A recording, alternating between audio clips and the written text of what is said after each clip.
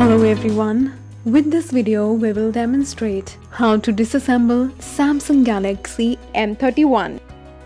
Remove SIM or SD card socket using eject pin. Disassemble rear case.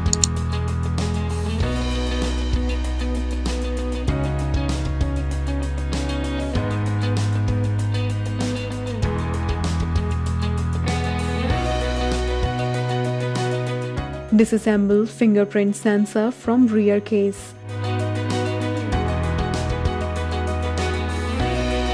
Remove protection vinyl and clean residue.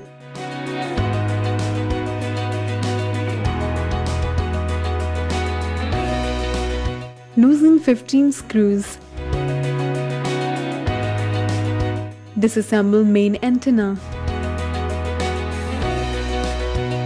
Disassemble mid cover. Disconnect all connectors.